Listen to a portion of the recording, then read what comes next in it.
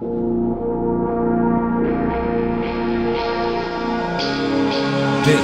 is Horror Podcast.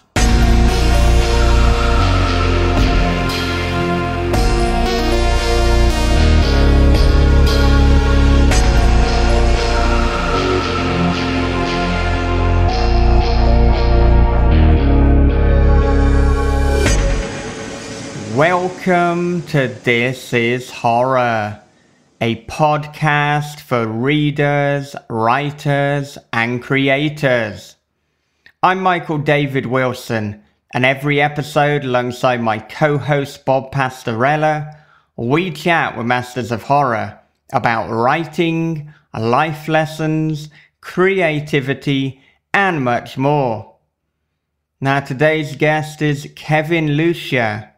He is a great short story writer, a novelist, and he is also the editor for Cemetery Dance paperbacks and ebooks. And Cemetery Dance is one of the best in the business in the horror genre. So it was fascinating to talk to the head honcho about all that is going on in terms of the paperbacks and the ebooks. Now, talking about talking to people Bob Pastorella and I have just finished recording four days and 11 hours of conversation. We have had some three hour marathons. We've been speaking to Michael Seidlinger, Paul Tremblay, Clay McLeod Chapman, and Tyler Jones. Four mornings that will turned into the afternoon because they went on so long. And wow, exhausted but also inspired as I often am when I have these conversations. So you're going to be getting an influx of This is Horror podcast at the end of this month, which is now, it's up on us. The influx is happening, my friend. But if you want to support the show, if you want to keep things going, keep the show alive, and goodness, I would really appreciate it if you did. I'm not in the best situation myself at the moment, but I'm trying to create good art, as Neil Gaiman and Chuck Wendig would say. But if you can support us, do consider becoming a patron. Go over to patreon.com forward slash this is horror. You can submit questions to each and every interviewee. You can get every episode ahead of the crowd. You can become part of the Writers Forum on Discord. You can listen to all the exclusive podcasts, the Q&A sessions, Story Unboxed, on camera, off record. And believe me, if you support This is Horror, it's going to mean a lot to me. It's going to mean more than you probably know. So I would love it if you did. Go over to patreon.com forward slash this is horror, check it out, and see if it's a good fit for you. Okay, before we get into the conversation, a little bit of an advert break.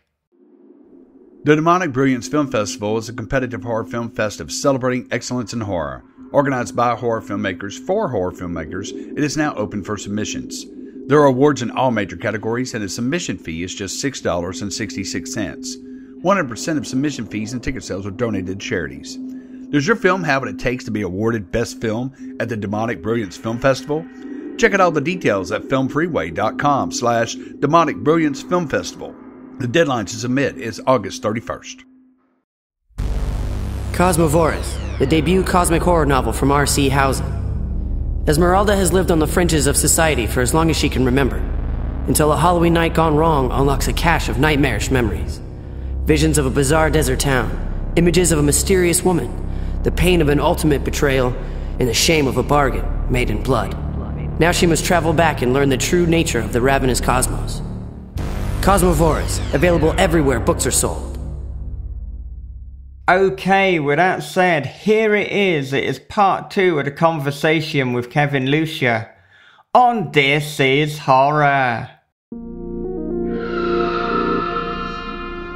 So, I wanted to talk a little bit about your fiction, and I thought a good place to begin is to talk about the Clifton Heights mythos. So, talk us through the genesis of that. So, the genesis of that was a combination of things. Um, right about the time that I discovered Stephen King, I was getting a little tired with science fiction. You know, I, it didn't take many rejections, and for me to have a kind of honest appraisal that my science fiction just sounded like bad, bad Star Wars fan fiction.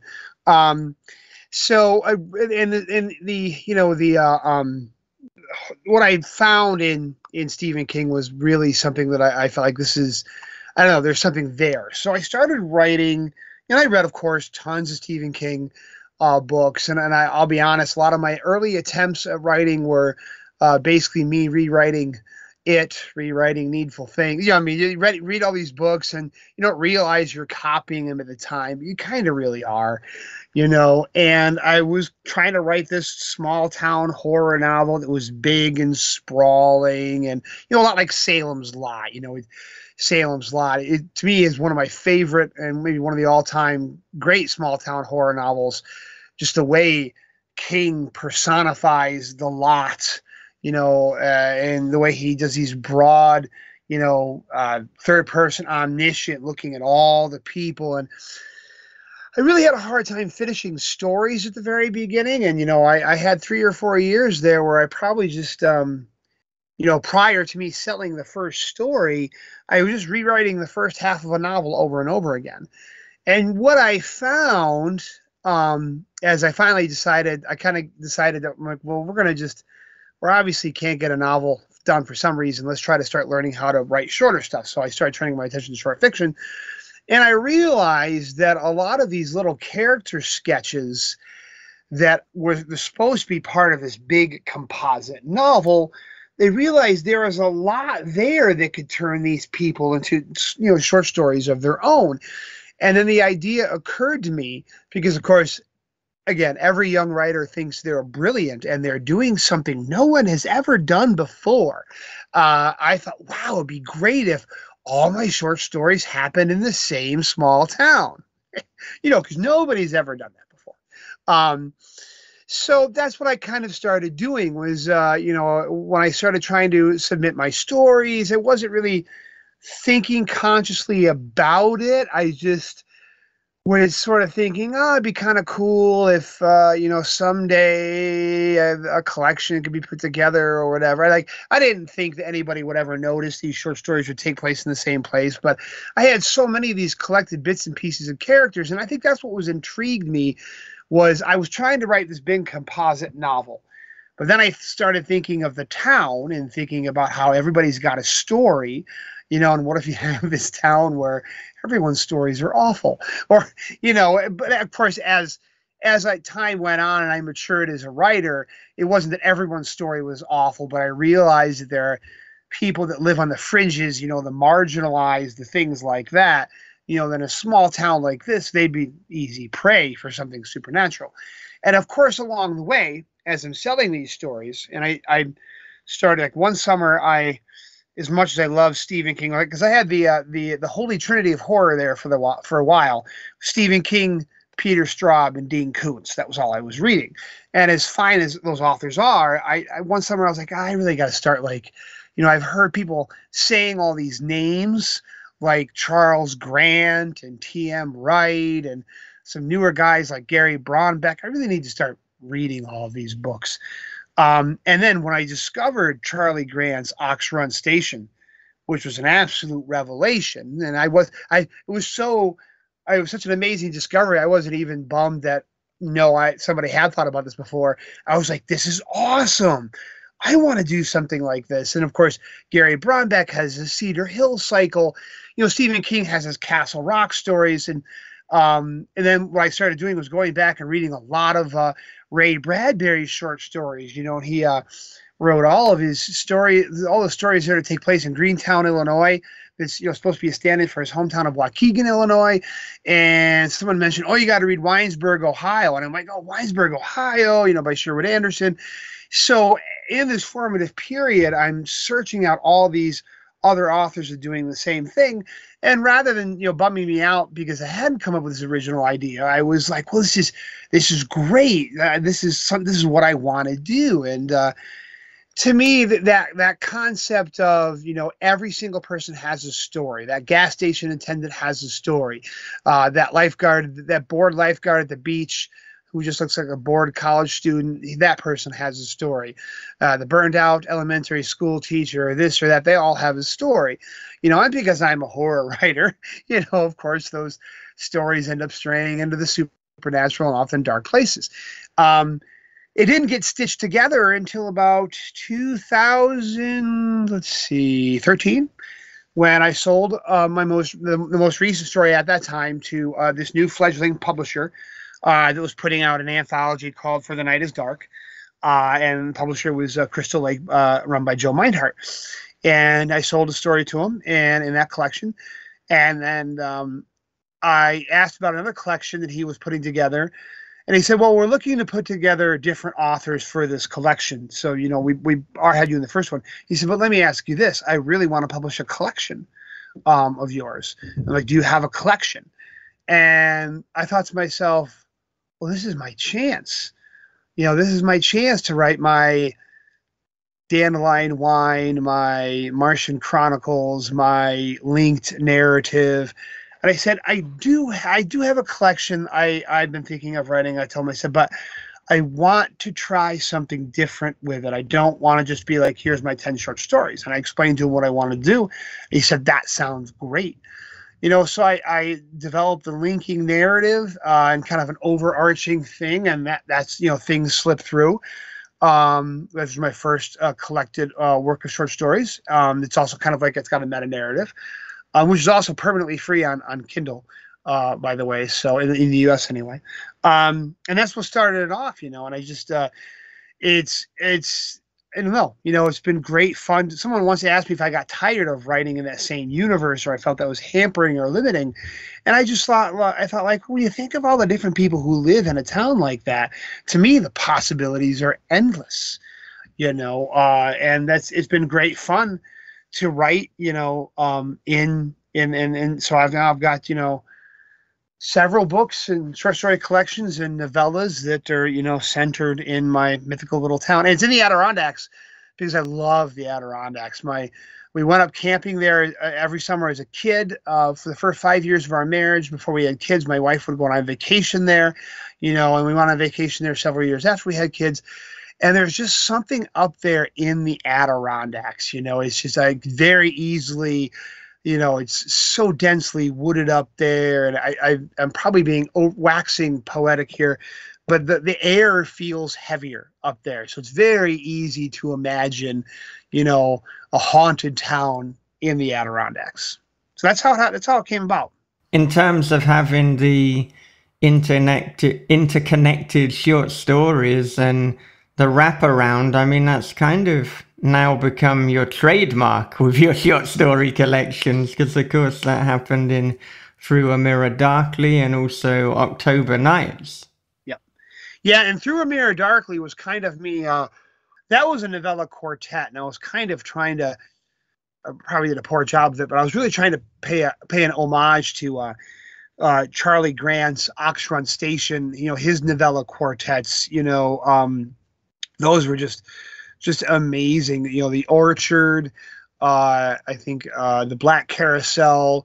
Um, uh, what's the other one? Oh, uh, I can't remember the other two. Uh, I've got them over my shelf over there. But yeah, that those collected novella quart- uh, quartets and uh, um, that was and then and then the Halloween one. You know, I've always wanted to ha- write a Halloween book, and I just decided last year. I talked to Joe and said, "I've got some stuff I could put together," and I said, "I've always wanted to do a Halloween book," and he said, "Yeah, let's do it." And that was that would that in some ways is probably the most satisfying book that I've uh, that I've ever written to date because there was so much of of me scattered throughout that whole book.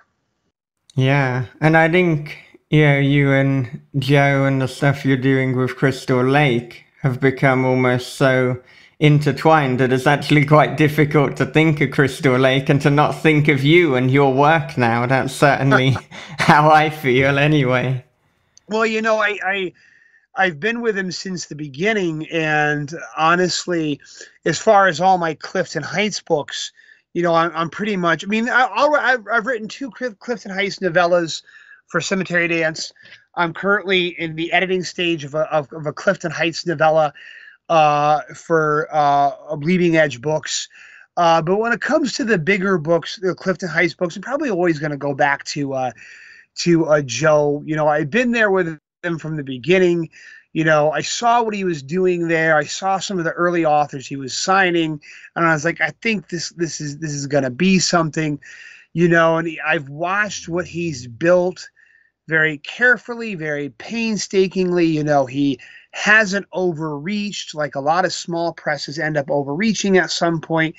And the thing about Joe that I always come back to is I know that every single release of mine through Crystal Lake, he's going to put his full full effort behind. Like he puts his shoulder behind every every book. He's always willing to try new stuff. He's like, oh, "How about we try this to market it this time?" Or, "What do you think about this?" And I'm always like, "Yeah, go for it. Definitely try it." You know, and I think I think Crystal Lake is is very easily become. I mean, this obviously is self-serving because most of my books are published through Crystal Lake. When it comes to the small press out there, I think it's got to be one of the premier small presses at this point. You know, you know, it's they've uh, they're all about the business. They're all about you know horror. They're all about establishing relationships with not only writers and readers you know, and Joe is just a, a solid guy who loves the genre, but he wants to do right by both his readers and his writers. You know, and that that's a winning combination right there. Yeah, yeah, I second all of that, and mm-hmm. I mean, he's he's just such a good guy as well, and he's doing it for all the right reasons, and yeah, everything you've been saying, I've been nodding my head along to it, and I mean, I've been in pretty close correspondence with him since really the start of Crystal Lake, and there's certainly a reason as well why multiple years our readers have voted for Crystal Lake as Publisher of the Year because they're yeah. mm-hmm. consistently putting out damn good work. Mm-hmm. Reading your work, I, I love how you take something that is, you know, kind of, uh, you know, every day, and it's just everyday life and it's each paragraph you get there's something more dreadful that's happening. Well thank you. And i awesome. and i and i love that. And it, it's it's a it's a creepiness. And i'm really trying to to tap into that the my with my current work in progress now. Right. And that's when i thought you know you know charles charles grant i'm just not well read in in in charles grant. I've read you know, of his work. And I loved his anthology series. Yeah. Oh, uh, Shadows. Oh yeah. Yeah. Absolutely. And Shadows yeah. was was a guaranteed library checkout for me. Yep. I've read every one of them. Yep. Yep. But I mean, I guess with, with Grant, where's where's like the the best starting point? Okay, so um and I've got a great story for later about going, you know, having that moment where you're like, oh my gosh, I have to go read these all, all these authors. It's really, really great uh, story. But uh, um, we're talking about the Oxrun Station series. His first, his first couple novels, The Hour of the Oxrun Dead, The Sound of Midnight, The Last Call of Mourning, those are all very good, solid novels. You know, they have that kind of creeping dread. My favorite of that would be um, The Grave. Uh, the, and the nice thing about his Oxrun Station novels, which I've tried to mimic with Clifton Heights, is you really don't have to have a lot of um, a pre knowledge coming into them. Like if you read enough of them, um, then they start to build on each other and you know little bits and pieces of town lore. But you could just mm-hmm. pick up. You know, I, I initially I think read all of them out of order, and it didn't really make much of a difference. But the the grave is a really great um, story, um, a novel. I'm looking for his. They've got some things lift. Oh, they they have me listen to the short stories. That's why his. Um, uh, horror novels, short fiction. Yeah, these are listening to short fiction. I don't know why.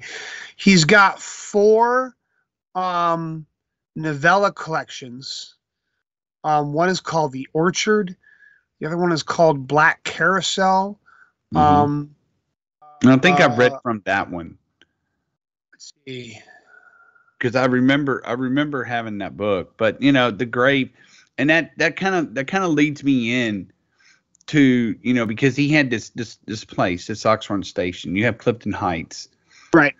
and and like you like you were saying, you build up the lore. So like with Clifton Heights, I'm trying to do the same thing with with with my own work, and I, I think I think a lot of people are.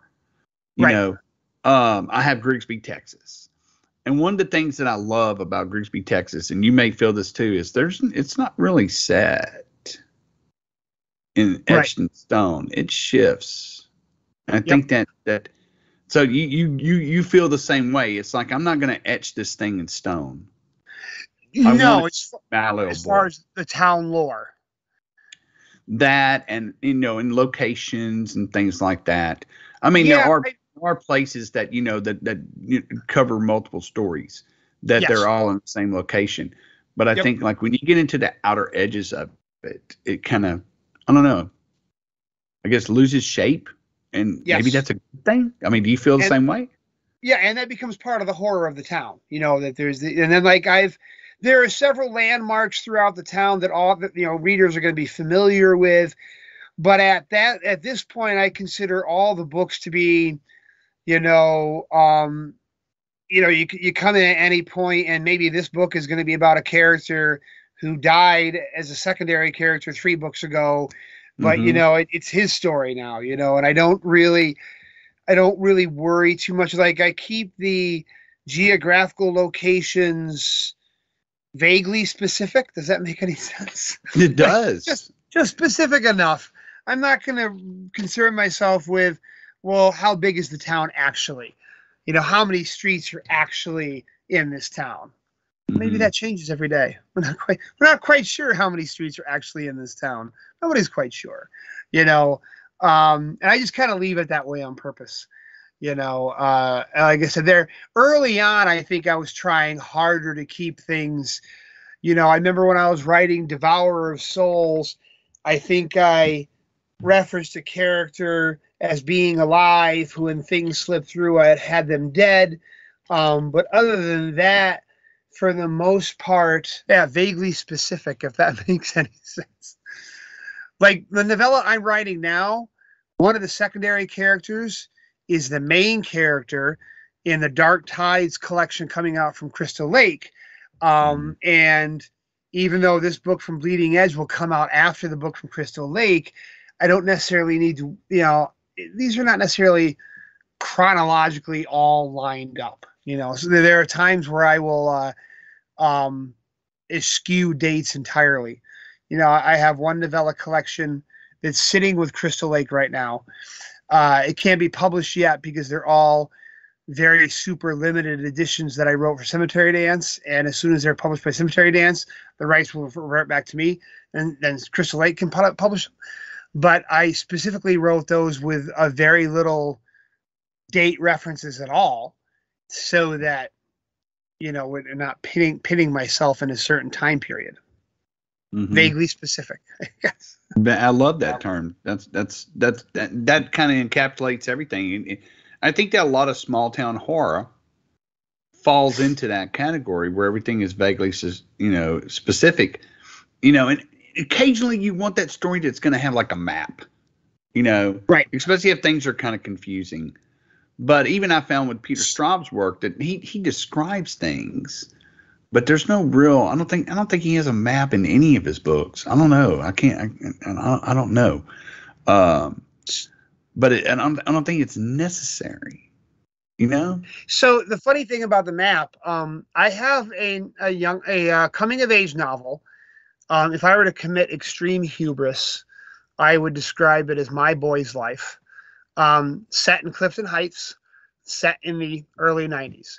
Um, and I've outlined it. You know, it's the very, very first time I've ever outlined anything. I outlined it from beginning to end. And I haven't started writing it yet because I sense this is going to be a commitment. This is a big, sprawling book. It's going to be a commitment. But I also realized because of the nature of this novel because I have certain plot elements that need to make sense over the course of the novel that I did actually have to draw a map of what I thought Clifton Heights would look like, at least for this novel. Just because I had, you know, it's a it's a novel like like Boy's Life. Boy's Life roughly spans a year and a half of Cory Mackenson's life. So if I'm going to write something similar, and I'm, you know, and we're tagging along with our 14 year old protagonist, I'm like, I'm to have to map out this town, especially because I had certain things that had to happen in certain, you know, the climax of the story. And I had to think, well, how long is it to take him for him to get there? So, so that was actually the only time, and I have not yet written that novel. I will write it. Um, you know, my, my, my, my tentative title for it is uh, When We Were Young. Um, uh, it's uh, that's a time commitment. That one is though, but that's the only time I found myself having a nap, map Clifton Heights because the nature of this this sprawling novel, where I'm like, I really need to know how far away the graveyard is from the main character's house, because how long is this bike ride actually going to take? You know. So. Mm-hmm. And the good thing about having you know creative control over Clifton Heights is that you can like literally do the map for this one, but you don't need it for the Mm-hmm. others. Right. Yeah. you know, was and it's it's like a different version story. of it. Yep. Just needed it for that story. Yeah. Um, uh, so I wanted to recommend some authors because you were talking about authors that build dread. Like uh, Charles Grant is definitely the one- uh, one of them. The other um, one, um, uh, Nightmare Seasons and Dialing the Wind. Those were his other novella collections. So it's uh, it's Nightmare Seasons, Dialing the Wind, The Orchard, and The Black Carousel. Those are his novella collections. I like his novels. His novels are good but his novella collections are, are where he really shines. Mhm. Another author um, that bears investigating is T.M. Wright. Um, I was at Necon 30 and just kind of poking around in the used, uh, you know, one of the vendors was selling used books, and there was this novel called The Place. Um, and at that point, I was really trying to figure out what type of horror writer I wanted to be. You know, uh, Brian Keene, Ray Garton, you know, uh, John Skipp. These were novels that I all really enjoyed, but I just didn't see myself writing this stuff. Then I picked this novel up called The Place by T.M. Wright, and I was just astounded. It was this novel again. It was um, his, and it led me into discovering his work. Where again, very ordinary things just take on this this malice and this menace.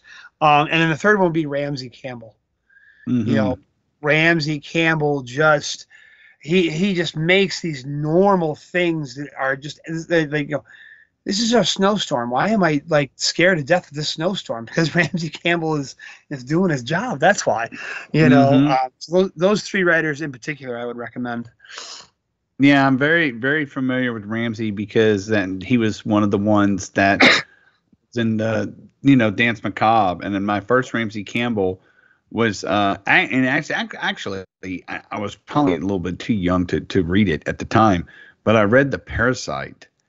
And, uh, Oh. man, that book fucked Yeah. me up bad. And uh, there's some, there's some shit in there that, uh, you know, he's, he- the thing with people like they say, well, quiet horror. What is that? It's like horror light, you know? It's like no, Right. it's like really fucked up emotional shit, you know? his, his gonna- collection alone with the horrors should be required reading. Oh yeah, it's, it's, it's amazing stuff. But yeah, he um, and so I got on this got on this big Ramsey Campbell kick, but you know, and it's and I see I see that I see that kind of that same mundaneness and I hate using that word because it sounds like it, I'm like it, it, derogatory, but it's not. It's like you take Right. something that's normal every day that you see, it's mundane, and you turn it into something that's so creepy, and that's you know, it's like it's something you have to you can't you try to study it, and you can't grab it. It's slippery, you know right and you, I guess I guess the only thing you can do is and a lot of my my my own work is like you know, kind of hard and, and punchy. And I'm trying to get more, I guess, loose with it. And I really, you know, so I'm thinking that if I read more quiet horror, then that's probably what I'm looking for to get Right. this kind of dread. Yep. Um, you know, because I have a main character who is, you know, basically throughout his entire life, he has suffered from night terrors. He has suffered from pareidolia, uh, which is where he sees things that that aren't they're, they're mundane, but they're they're they're terrifying to him. You know. You know another And- author I would. Re- oh, sorry. Go ahead. No, no, no, no, no. You're fine. Another author I would recommend that it probably isn't brought up nearly as much, and Peter Straub loves uh, this author. Uh, there's an author named Robert Aickman. Mhm. Um, oh yeah.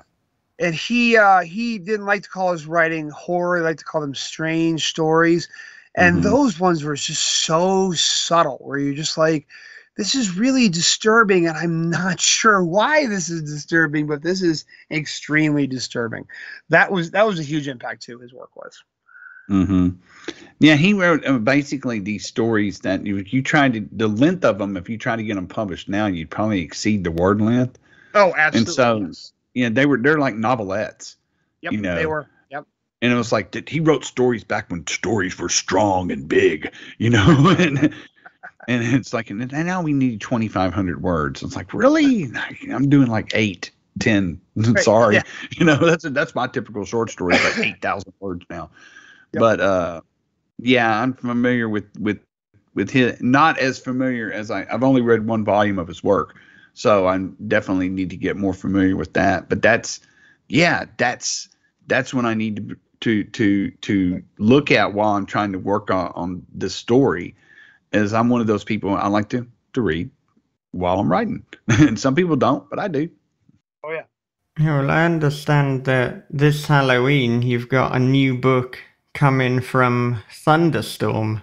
so the horror at pleasant brook is uh, my first novel full length novel it is also my first work set outside of clifton heights um, but set in, in an even smaller town in the adirondacks because i love the adirondacks and it is um, i would like i would hope that it is is quiet it would quiet quiet slasher or quiet splatterpunk is that a genre?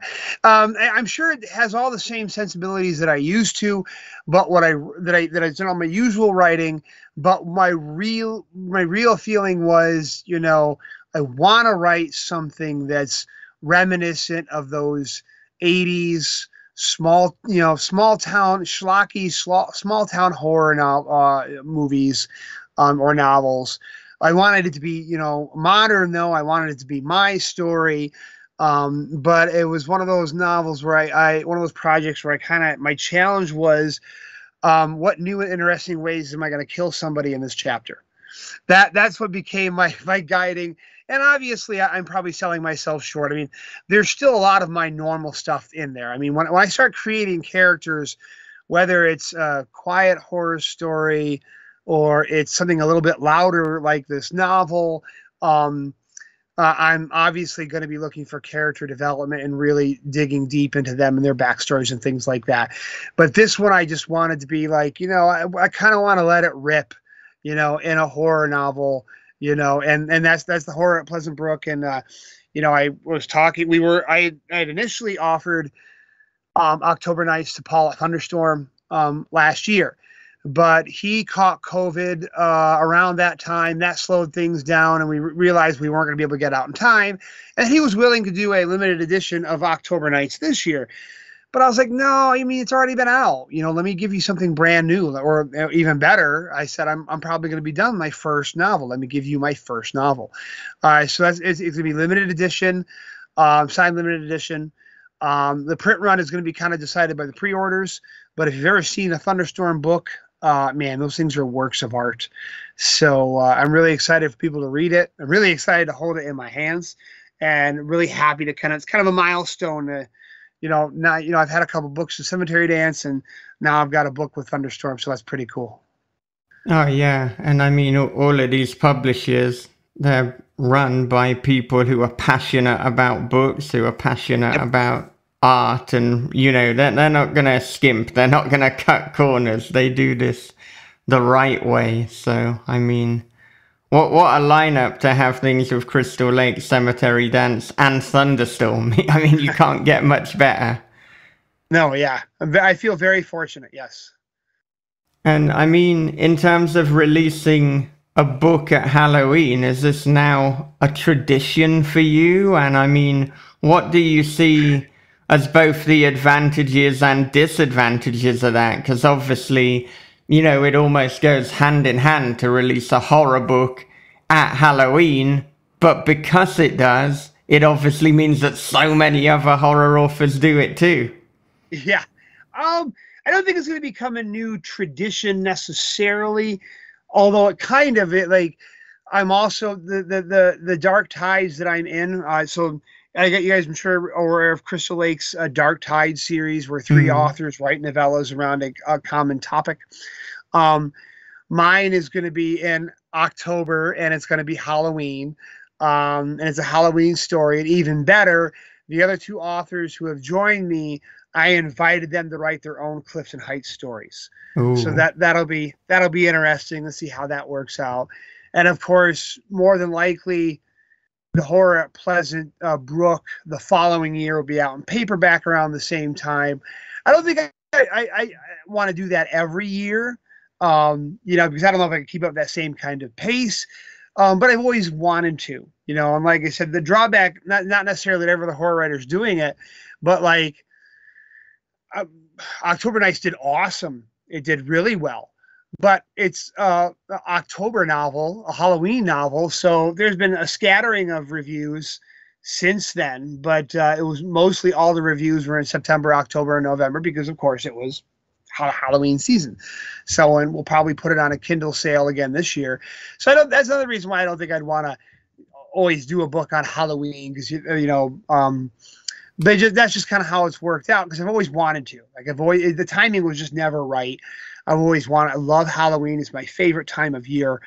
Um, you know, and I always uh, wanted to write a Halloween novel or Halloween book. And that's worked out the last couple years, but I, I don't know if it's gonna be something I'm gonna intentionally do from now on.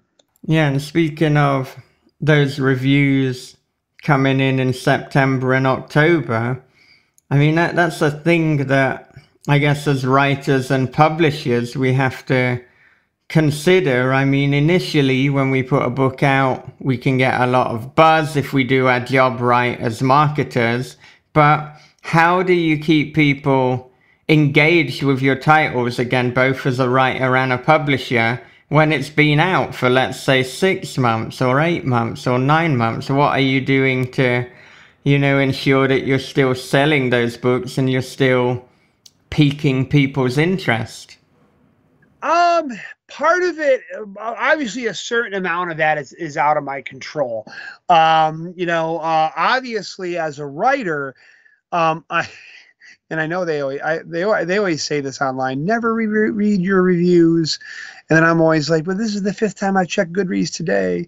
Uh, so i first yeah. of all I'm, I, I, I probably shouldn't but i'm always checking all my books to see if there's a new review. So i'm never shy about sharing a review you know so i'm always kind of keeping an eye on my books to see oh look there's a new like there's a new review of mystery road this morning. I'm going to share that. Oh there's a new review of the night road. So i'll share that. I'll never be a, you know um, joe is great as far as uh, consistently running uh, kindle countdown deals on all of his backlist you know so he's uh, you know he's always trying to get it out in front of new readers and purchasing new ads and you know, tinkering with things, and he's always kind of tinkering with the Amazon categories to try to keep them in, you know, under fresh eyes and things like that. So, as a publisher, I don't, I'm not privy to all the things he does there, but I do know that throughout the year he'll let me know, okay, we're going to put these three of your books on a countdown sale, and he'll let me know and things like that. So, uh, now, uh, like I said, as a writer I'm just always kind of keeping my eye, you know, on. Or if I haven't had any um, reviews in a long time, I'll just be like, here's the unabashed, um, this is my latest work. Here's what people have said about it. You know, I mean, I post lots of stuff on my Facebook and Twitter.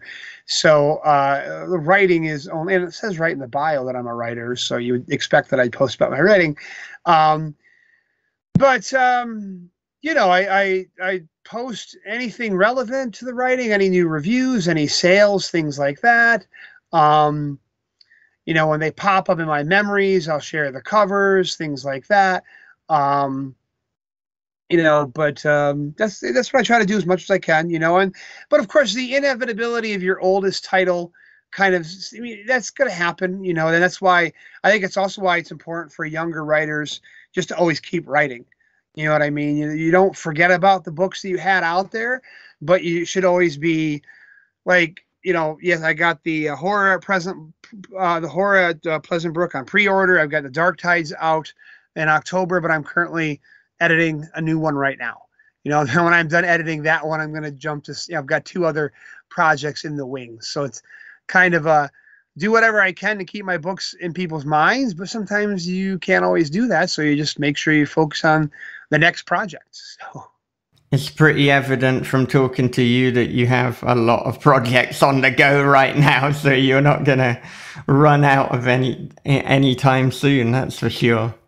Well, I've always told people, I said my problem has never been not having enough ideas. It's it's been uh, which ideas are good and which aren't. Yeah. I, I can't tell you how many stories I've gotten about 45, 50 pages and I'm like, this isn't going to go. or at least this isn't going anywhere right now. You know, all writers are pack rats. I'll put that in the trunk. And, you know, perfect example of the, the novella um, that's going to be coming out in the Dark Tides in October. Um, that initially I started writing that uh, the summer before um, COVID Mm. And then during COVID, I tried to write it, and I, I wasn't in a good headspace then. I don't think a lot of us were. So I just put it in a trunk and didn't, I really wasn't sure if I'd ever finish it. And then I took it out and started tinkering with it for October nights because it was a Halloween story, but I'm like, eh, it's not going to fit. And then a little while later, Joe's like, hey, we're doing this novella thing. Do you have a novella? I'm like, yes, I do, even though it wasn't finished. I always, I've learned that's another thing. If someone asks, do you have this? The answer is always yes. That's right. Yes, I do. Yeah. yeah. We, we, you said that your coming of age novel is the first time that you've properly outlined something. I wonder what does your typical process look like going into writing a novel? I mean, how much are you, are you pantsing and what kind of notes or ideas do you have? Because I'm I'm pretty intrigued by you saying you'd only outlined once, and then also saying there are some ideas where at 40 or 50 pages it's like, yep, uh, the gas has run out. so uh, it, it, it, bears it bears noticing that I've only outlined one novel, um, and uh, I've I haven't written that many novels. Um, the, the horror at Pleasant Brook um, I didn't have to outline that one because my my intention was that with that one was to I wanted to try to give the characters depth, but I didn't make the plot very uh, complex. Like I said, my, my my framework for that plot was cheap 80s small town creature feature. You know, so that was fairly easy to write because I didn't outline it. Um, I've got two other novels um, one that I'm going to start shopping around to an agent, one that needs extensive rewrites. Uh, that, in addition to the the Pleasant uh, the the horror of Pleasant Brook, are the only novels I've ever written because I I I found a lot of success pantsing short stories and novellas. That seems to work for me. You know, I I zero in on an emotion or the character's needs and flaws and how is he going to resolve those he or she's going to resolve those things and that usually works out. I've had so many novels though where i've gotten you know to 600 pages and it just collapses under its own weight. In fact one of the novels that's waiting to be revised um, i finally just threw my hands in the air and i sent it to um, uh, a good friend and um, colleague and an amazing writer. I sent it to Ronald Malfi. I said, Could you read through this for me? And Ron read through it and made some notes. And he told me, You've got a good 300 page novel somewhere in these 600 pages. I'm like, Yeah, I know.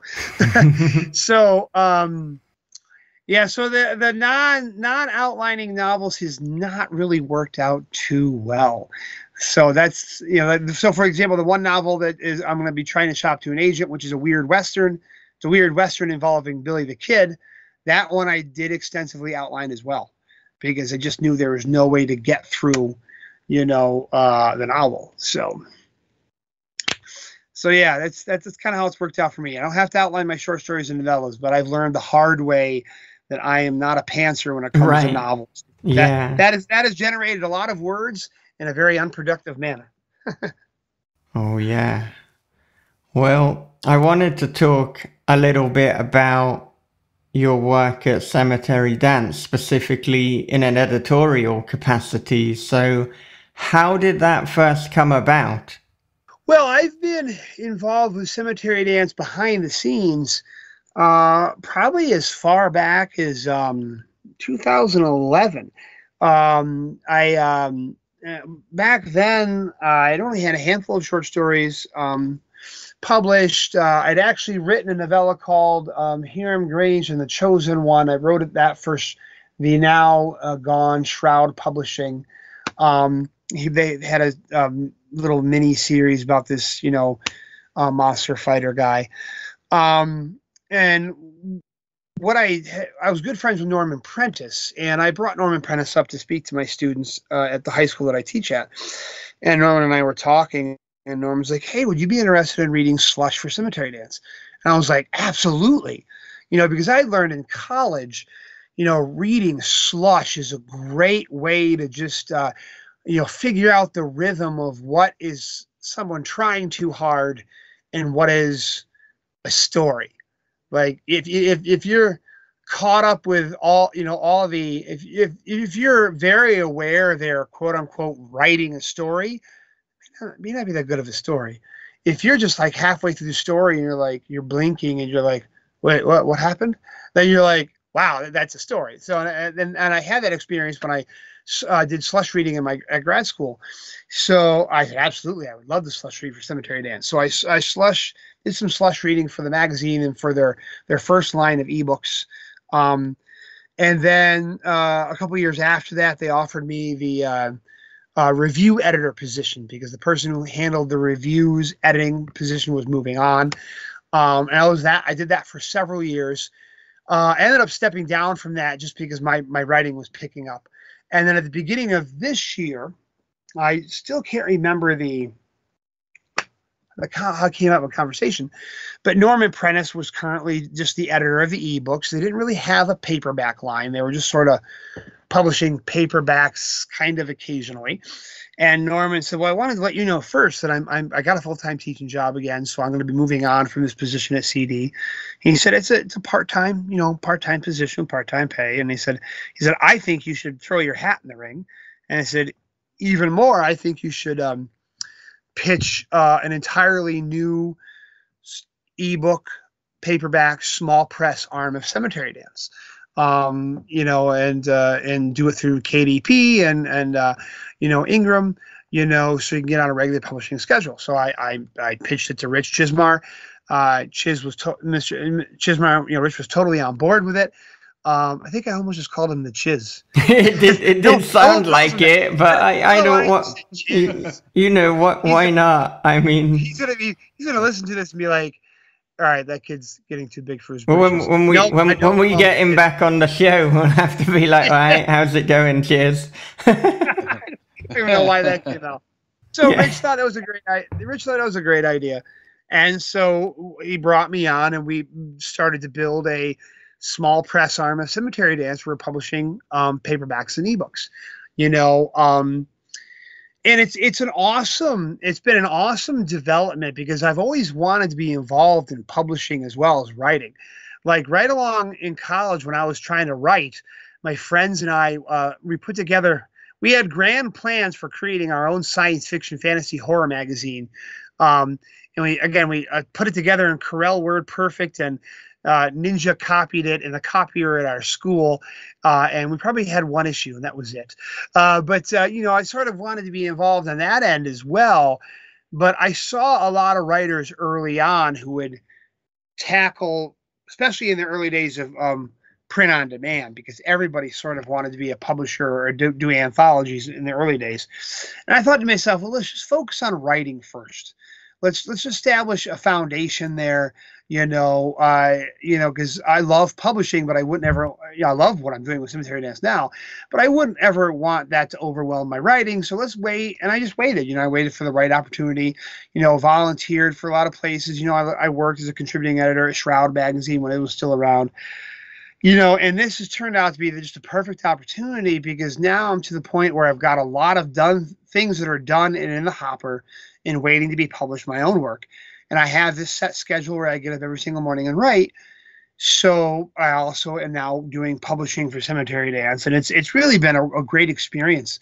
Um, you know, find you know having uh, reading work, uh, you know, by authors, and then uh, creating their book together with the interior layout person and whatever uh, art, you know, cover artists we've uh, selected, and you know, finding ways to uh, try to promote that book. Was really I'm just trying to, I'm kind of I'm not doing all the same things that Joe um, did obviously at Crystal Lake, but I'm trying to adopt the same philosophy that uh, you know every release that we're gonna we're, we're gonna have, I you know I'm gonna try to put everything I can behind it, you know, and you know it's been great, you know, and I've I've got a great lineup of books to come. You know, I'm uh, almost finished uh, with my final reads of our first submissions period.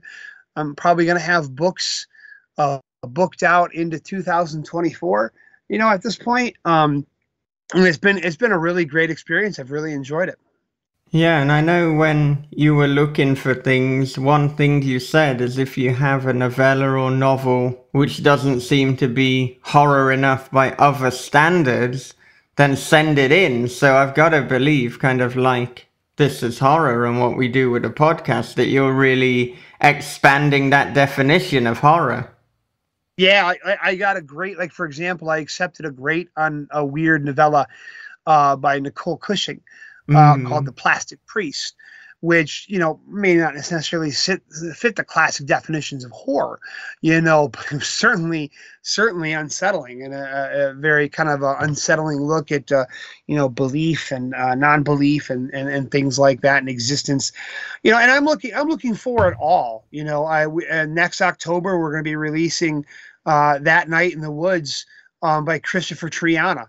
Great, great Halloween horror slasher film or novel. Great, you know. So I kind of want to, you know, I kind of want to find it all. You know, I when I finally came onto the horror scene, you know, I discovered leisure fiction a little late, um, but I, I was able to enjoy their novels before they fell. And one thing that always impressed me about Leisure is that Leisure had something for every horror fan you know, they had the, the Brian Keene novels, the Gord Rollo, or the, uh, you know, the John Everson novels, but then they'd have the Tim Lebbon or the Nate Kenyon novels or Gary Braunbeck. You know, they just seem to have something for everyone horror wise.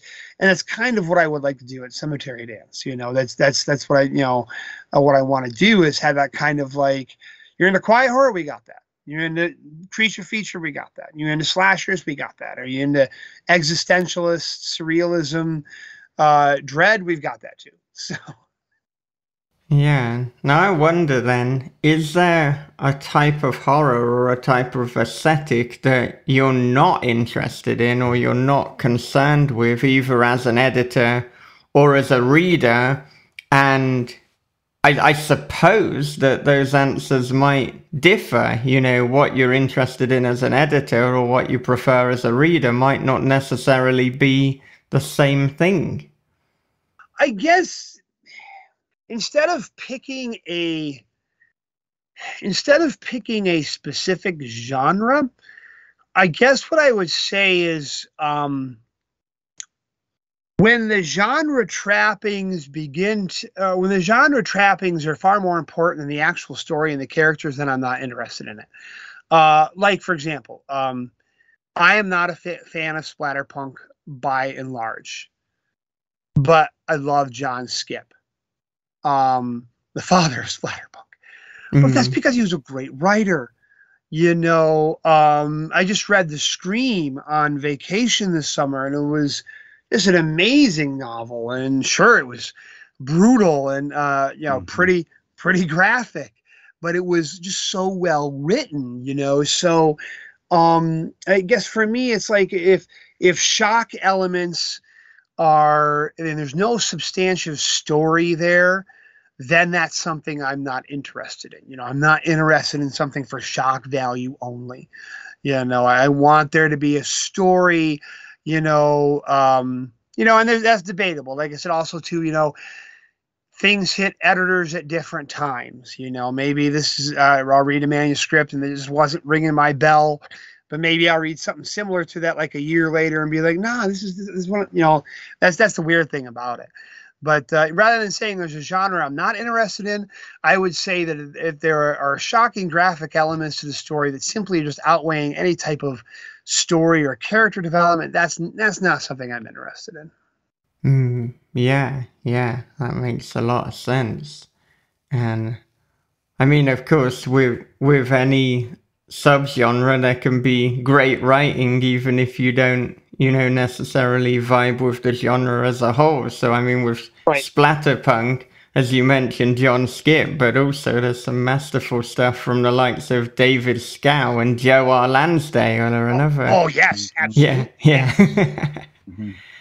But I, I, I'm wondering as well what the kind of slush reading, what the submission reading looks like, because we spoke to a multitude of editors and publishers before, and you know, for some people, it can be that they read the first page and that you know they, they get an idea as to whether they're going to continue or not. For some people i think maybe nick mamatas he'll read the first sentence and if that doesn't grab him then he's out. But there there'll be others you know godlike figures who for, or, or perhaps silly figures who will read the whole damn thing. So what, what's it kind of look like for you in terms of tapping out and knowing look this this one isn't for me so uh, this summer, especially because that's what I've spent was doing is reading through the first batch, the first you know our open open submissions.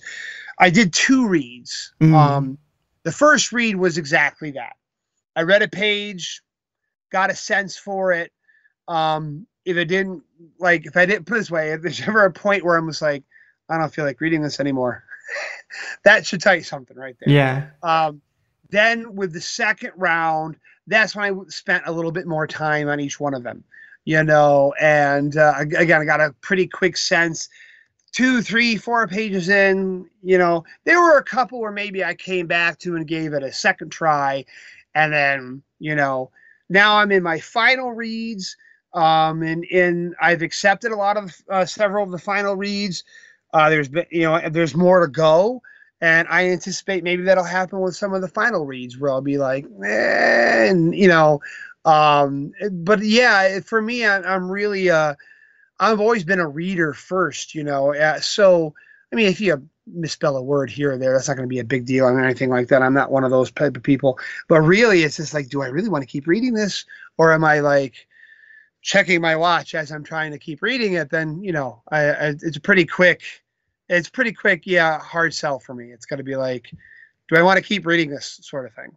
Yeah, yeah, that makes sense. And it sounds like you've got a pretty meticulous process then nailed down. I like these different stages that you're going through. That's great.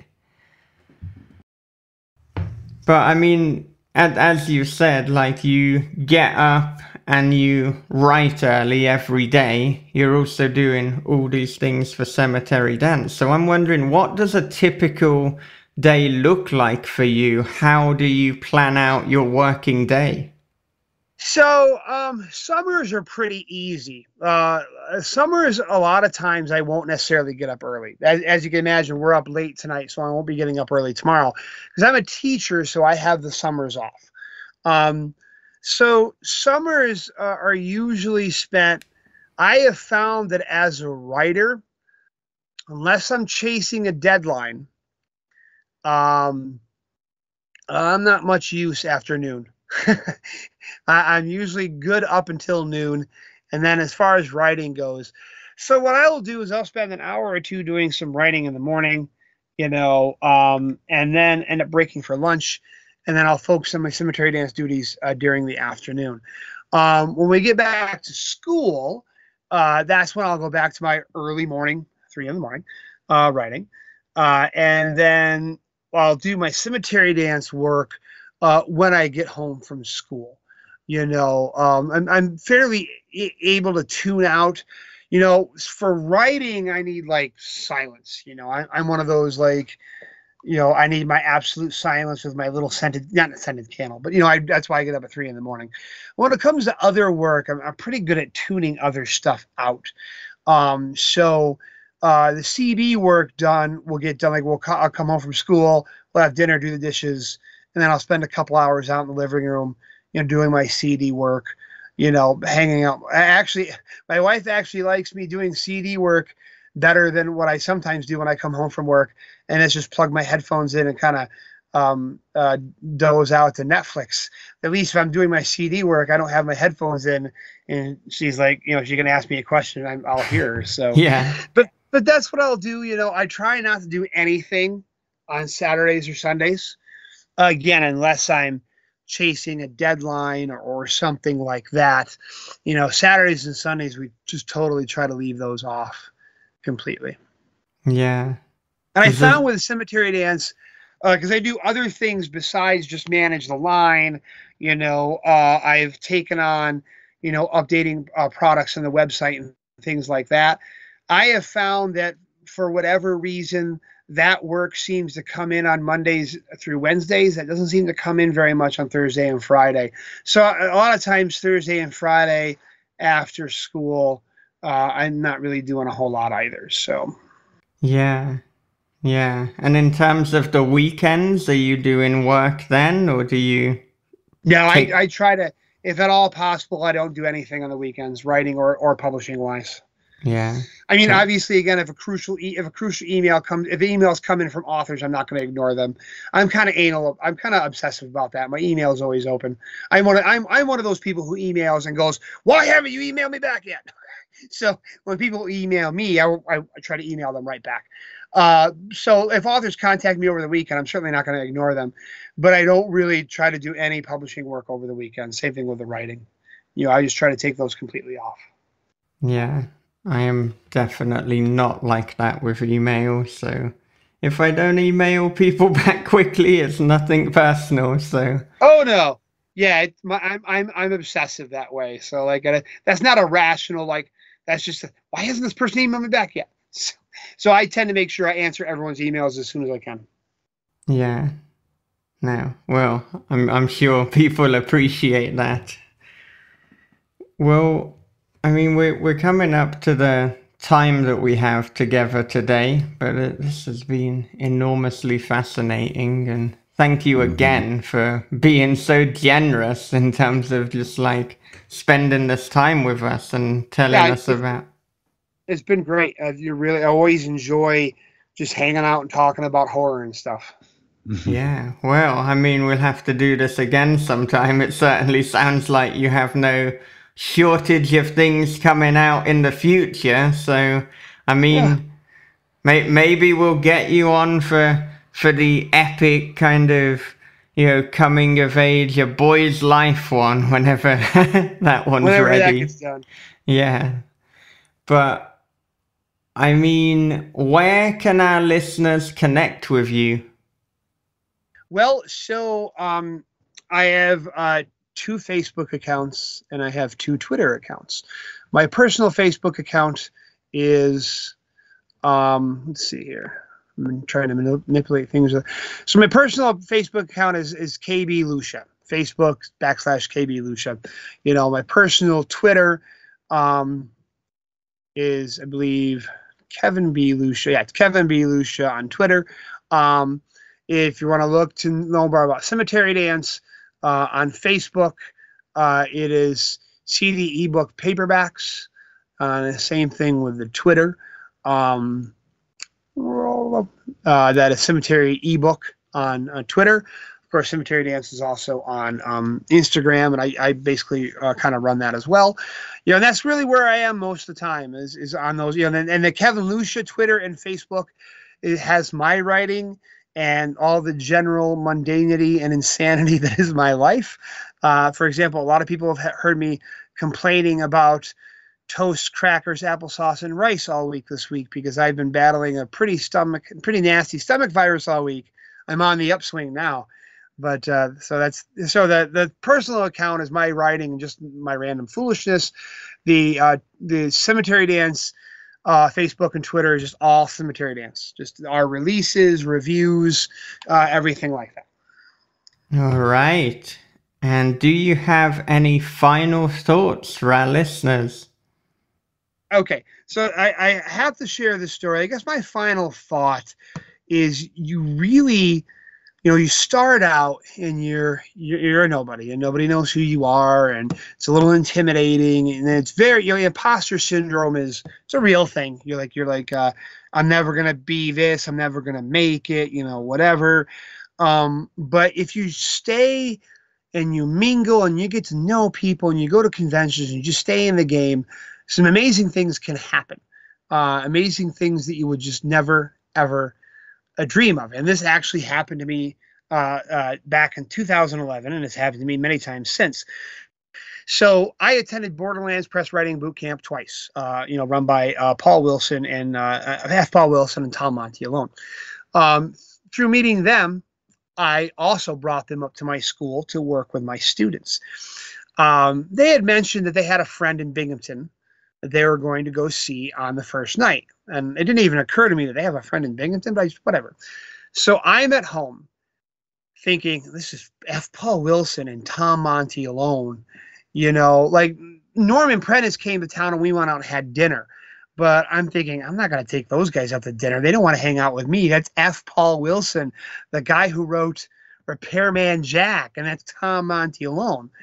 And here I am sitting up, you know, just grading some papers. And then Paul Wilson calls me at home and says, What are you doing? I said, Nothing. Uh, I like to joke that my house could have been on fire and I still would have said nothing. and he's like, uh, he's like, we're over at our friend's house. You got to come over and see this. It's pretty awesome. And he gives me directions to his friend's house. Long story short, um, I don't know if you guys are familiar with um, Whispers magazine and the Whispers anthologies um, of the late 70s and early 80s. Yeah, um, I am. Paul and Tom's friend, who lived in Binghamton, was Stuart David Schiff. Oh, wow. The, the editor and owner of Whispers magazine and uh, the anthologies. And I spent the evening with Paul Wilson, Tom Monteleone, and Stuart David Schiff uh, eating uh, Chinese takeout and sipping scotch, and just sitting there and listening to them like unroll this whole oral history of horror, sci-fi, and fantasy. And it was the most gobsmacking moment. The reason why he called me over there is on a side on a side note. Stu is a fanatical collector of things, and by things I mean not only books this is a man who, among other things, happens to have um, Steve McQueen's death certificate. I don't even know how you get Steve McQueen's death certificate, but he mm. has Steve McQueen's death certificate. So he has this unbelievable museum of the weird in his basement. That's why they invited me over. But here, here I am a nobody, and I'm sitting here hanging out with Paul Wilson, Tom Monteleone, and Stu Schiff, and they're just they were talking about being generous with their time. They were just treating me like an equal and just hanging out. And I've been over to Stu's several times since then. Uh, I've even been over to the Stu's by myself, hanging out with him. And I mean, back in 2007, this would have been like, yeah, right, like that's ever going to happen to me.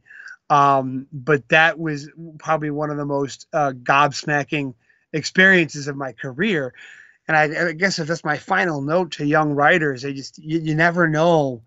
You know, you start out thinking you're nobody, and not that I think I'm somebody, but I never would have thought these people would ever give me a time of day, and to be so generously invited over like that, that was that was absolutely amazing. Well, all right, what a conversation with Kevin Lucia very generous with his time and with his knowledge. So thank you so much to Kevin for joining us. But next episode, it is the first of a huge conversation with Clay McLeod Chapman. So that'll be dropping in a few days. But if you want to listen to it right now, if you want to get this ahead of the crowd, then become our patron at patreon.com forward slash this is horror. Not only do you get early bird access to each and every episode, but you can submit questions to our wonderful, wonderful interviewees. You can get exclusive podcasts, Story Unboxed, a horror podcast on the craft of writing, where we analyze and dissect short stories and films. And of course, the Q&A session, so you can submit any question to me and Bob, and we will answer them. There's also the Writers Forum over on Discord, so you can get help with your current work in progress. You're part of a community. We're all doing challenges. We're all working towards bettering ourselves. And on top of all that, it would mean so much to me if you support us. I'm going through some things at the moment. It will be invaluable. So if you think it sounds good, head on over patreon.com forward slash this is horror. Have a bit of a gander. Ooh, check it out. See if it's for you. And if it is, then join us. Okay, before I wrap up, a little bit of an advert break. Cosmovorous, the debut cosmic horror novel from R.C. Housen. Esmeralda has lived on the fringes of society for as long as she can remember, until a Halloween night gone wrong unlocks a cache of nightmarish memories. Visions of a bizarre desert town, images of a mysterious woman, the pain of an ultimate betrayal, and the shame of a bargain made in blood. Now she must travel back and learn the true nature of the ravenous cosmos. Cosmovorous, available everywhere books are sold. The Demonic Brilliance Film Festival is a competitive horror film festival celebrating excellence in horror. Organized by horror filmmakers for horror filmmakers, it is now open for submissions.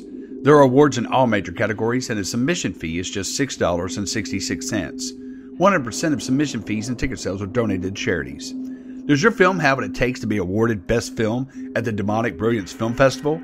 Check out all the details at filmfreeway.com slash Demonic Brilliance Film Festival. The deadline to submit is August 31st. All right, to wrap up, to end the episode, a little quote.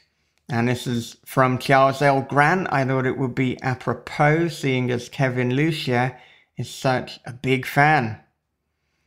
If all the world's a stage and all the people players, who in bloody hell hired the director? I'll see you in the next episode with Clay McLeod Chapman. But until then, take care of yourselves, be good to one another, read horror, keep on writing, and have a great, great day.